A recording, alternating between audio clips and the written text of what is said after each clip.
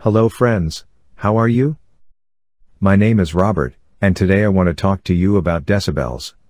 In this video we are going to answer to these questions, what are decibels? How are they calculated? Why are they so useful?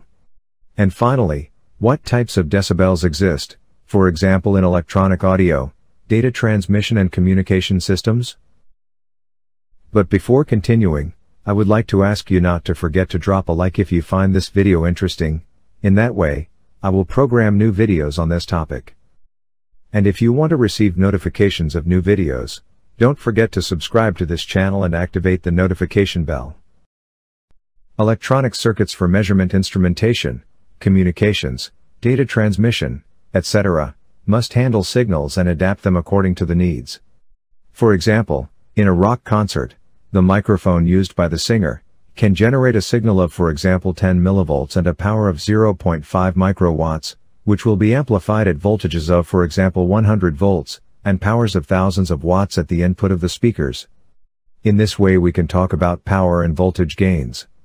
Other times, when we transmit telephone or data signals through copper cables, due to their resistance and problems that they can present, they cause losses in the signal. In this case we would speak of signal attenuations. These amplification and attenuation processes are combined throughout the systems in multiple stages, which makes it more convenient to express them, not in absolute form, that is, indicating watts or volts, but through units that express proportionality, comparing for example the output power with the input power. In this way we can express the gain that occurs in an amplifier stage, or the attenuation that occurs in a cable of a certain length, as the rate between the output power of the signal and the input power of the signal. In the case that we have commented previously about the concert, we had that the microphone's output power was only 0.5 microwatts, while the amplifier's output power was 3000 watts, so the gain we would have in this case would be 3000 divided by 0.0000005 equals to 6 billion, which is a very difficult number to handle. Now that we have seen the concept of comparing two signals and the difficulty of comparing values that are very different, we can take a little pause to remember some simple maths from school. Surely if I ask how much 10 by 10 is, you will quickly answer me that it is 100, and 10 by 10 by 10, it is also very easy to know that it is 1000. We are talking about powers of 10 that we can express in the way we see in the screen. As we see, when we raise 10 to an increasing number that we call the exponent, the result grows much faster than that exponent itself, and that is why we say that it has an exponential growth, which is much faster than a linear growth. We call this function a base 10 exponential function. We can do the same to obtain smaller and smaller numbers. We see that if we multiply two numbers expressed in this way, then we can obtain the result simply by adding the exponents, which converts a multiplication into a sum, which is always much easier to do, a property that we are going to comment on again when we talk about decibels. As with many mathematical functions, we can find the inverse function of the exponential in base 10, that is, we can define a function that gives us the value of the exponent, to which we must raise 10 in order to reach a certain number. We call this function a logarithmic function in base 10. We can express this mathematically as indicated in the screen. As we can see, the logarithmic function converts very large numbers into other smaller numbers, for example the 6000 million that we had obtained previously, is converted into approximately 9.78 by the logarithmic function, since its logarithm is precisely that value. In other words, logarithms allow representing very large or very small relationships, with easy to handle numbers. But logarithms have another very interesting property, as we have already pointed out previously. Suppose we want to multiply 4570 by 8966. Without an electronic calculator, it would take most people some time to find that the result is 40,974,620. However, we can convert that multiplication into an addition. If we look in a table of logarithms, we will find the logarithms associated with those two numbers. Then we can add them, which is very simple and fast, and finally we can use an anti-logarithm table again, to find the result with a very small error in this way.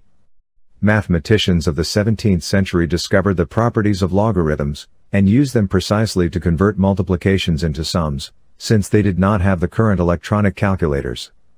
Now that we have remembered what the logarithmic function is, and its ability to convert very large numbers into smaller ones, and its usefulness to transform multiplications into additions, we can move on to see what decibels are.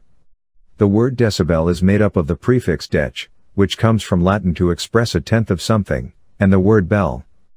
Taking this into account, we can guess that the decibel unit is one-tenth of another larger unit, called bel, so that a bel will be equivalent to 10 decibels.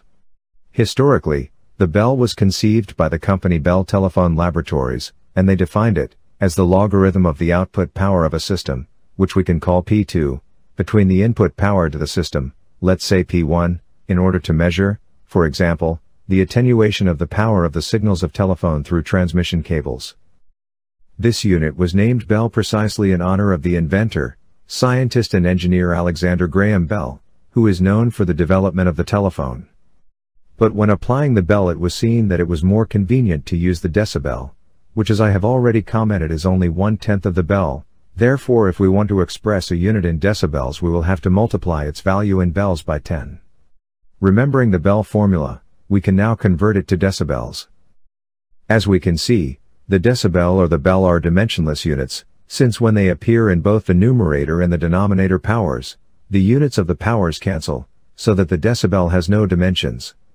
For this reason, it does not make sense to say that a signal has a power of 3 decibels. What does make sense is to say that one signal is 3 decibels stronger than another. Let's now look at some examples of the values that we obtain using decibels. Suppose for example, that we have an amplifier and that the output power of our system is twice the input power, then we will have an approximate gain of 3 decibels. Suppose now that we double the output power again, and it is now 4 times the input power, then we will have a gain of approximately 6 decibels. And if we now double the output power again, that is, it is 8 times the input power, then we will have a gain of about 9 decibels. As we see, Every time the output power doubles, the gain increases by 3 decibels. Suppose now that the output power is 10 times the input, then we will have a gain of 10 decibels. And if we multiply the output power by 10 again, so that it is 100 times that of the input, then we will have a gain of 20 decibels. And if we again multiply the output power by 10, so that it is 1000 times the input power, then we will have a gain of 30 decibels. As we can see, each time the output power is multiplied by 10, the gain increases by 10 decibels. Likewise, instead of considering an amplifier, we can consider the attenuation suffered by a signal that travels through a medium, for example, a copper cable if it is an electrical signal, an optical fiber if it is a light signal, or by the air if it is a radio signal. In this case, the output power, that is, the power for example at the end of the cable, will be less than the power at the cable entry. Let's look again at some examples that show us the behavior of the attenuation in decibels. Suppose the power is reduced by half, then we will have a 3 decibel attenuation. Suppose now that the output power is divided by 2 again, so that it is 4 times smaller than the input, then we will have an attenuation of 6 decibels. And if again the output power is divided by 2, so that now the output power is 8 times smaller than the input power, then we will have an attenuation of 9 decibels. As we can see, every time the output power is divided by 2, the gain is reduced by 3 decibels. Now suppose that the output power is one-tenth of the input, then we will have an attenuation of 10 decibels. And if we divide the power again by 10, that is, the output power is 100 times smaller than the input power, then we will have an attenuation of 20 decibels. And if we divide the output power again by 10, that is, the output power is 1000 times smaller than the input power, then we will have an attenuation of 30 decibels.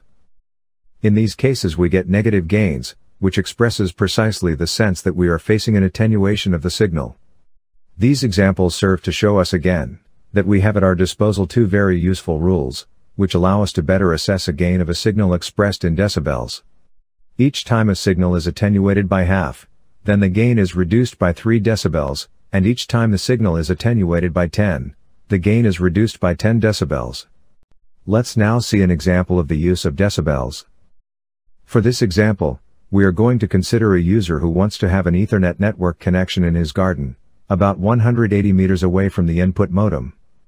To improve the signal, he has bought a simple repeater that he installs in the middle of the distance. In this example, the cables used were a bit damaged, so they present a certain attenuation, so that the signal power is divided by 100 in each section. On the other hand, the repeater multiplies the power at its output by 100,000.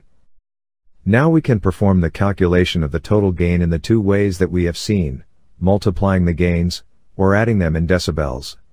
As we see, the result coincides, but again adding gains or subtracting decibel attenuations is easier. In this way, we have seen the convenience of expressing the gain in decibels, since its use simply involves adding or subtracting gains throughout the circuit. Until now, throughout this explanation, I have referred to the relationship between powers, for example the powers of an amplifier or a repeater. Now we are going to extend its application for a situation that, instead of powers, we measure voltages, and we are going to express the result also in decibels. For this case, we have to take into account Joule's law, expressed as a function of voltage and resistance. If in the gain formula, we substitute the powers for their equivalent as a function of the voltage and the resistance, and then we consider that the input and output resistances of the circuit are similar, then we will obtain the power gain as a function of the output voltage and the input voltage. But since the voltages are squared, it is possible to take the number 2 out of the logarithm by multiplying it, leaving an expression very similar to the one we had with powers, but now the logarithm is multiplied by 20 instead of 10. In this way, we now have two different formulas for calculating the power gain, one in which we directly use the output and input powers, and in which the logarithm is multiplied by 10, and another one in which the output and input voltages are used, in which the logarithm is multiplied by 20. We have to pay attention to this aspect if we do not want to get confused. Until now, whenever we have expressed a gain in decibels, we have expressed it with a positive or negative number followed by the letters dB, and we have said that it is a dimensionless unit, that is, without units like volts or milliwatts, however, it is likely that we will also find ourselves with expressions such as dBm, dBu, dBi, dBd, etc. It is time to move from decibels as a dimensionless and relative value, to decibels as an absolute measure. As you are going to see, the concept is simple, and it involves considering in the logarithmic expressions, that we have seen previously as an input reference, a certain fixed value. In this way, we can go from saying that a signal has, for example, a power twice that of another signal, to saying that a signal has a certain power, for example 2 dBm. We start with the dBm. In this case, the input power that we consider as a reference will be 1 milliwatt. Therefore the formula for decibel m remains as indicated in the screen. In other words, the power expressed in dBm is calculated by multiplying 10 by the logarithm of the power expressed in milliwatts. In this way, if at the output of a circuit we have a power of 10 milliwatts, then the power expressed in dBm will be 10 dBm. And if we have 2 milliwatts then the power expressed in dBm will be approximately 3 dBm. And if we have 1 milliwatt then the power expressed in dBm will be 0 dBm. In these examples the dBm are positive, but if for example at the output of the circuit we have a power of 0.5 milliwatts, then the power expressed in dBm will be approximately minus 3 dBm. And if we have 0.1 milliwatts, then the power expressed in dBm will be minus 10 dBm. As we can see, if the power is greater than 1 milliwatt then the dBm will be positive, but if the power is less than 1 milliwatt then, the dBm will be negative. Now let's move on to the dBu. As we have seen before, we can also express the power gain as a function of the input and output voltages. In that case we had the expression that we see on the screen. To convert again this measurement in an absolute value, we will have to use a reference, in this case for the input voltage, or V1, the reference value of 0.775 volts has been chosen. This voltage value is the one required so that applied to a resistance of 600 ohms, a power of 1 milliwatt is obtained, as we see in the image.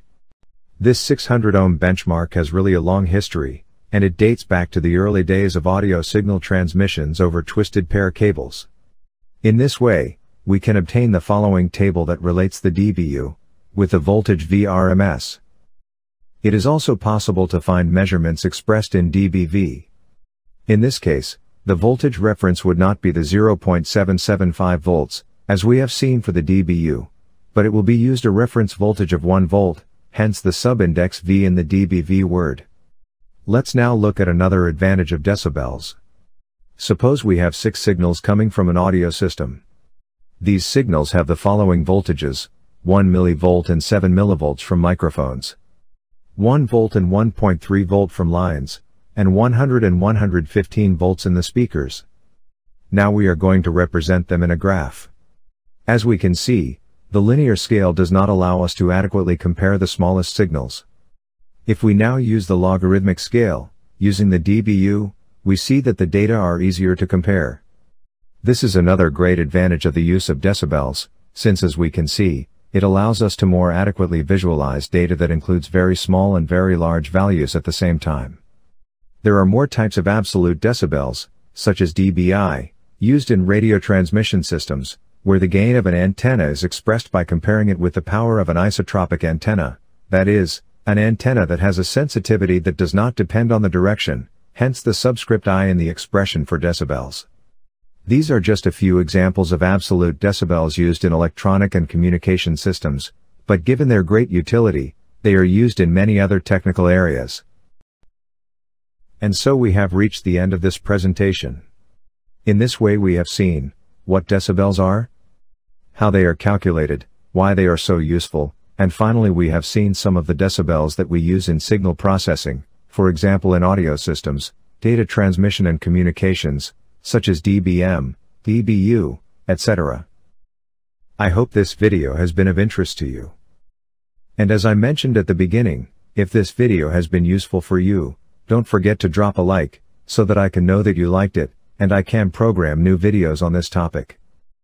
In a future video, we will see the use of decibels in other applications, and we will delve into its use, so if you don't want to miss it, don't forget to subscribe to this channel and activate the notification bell.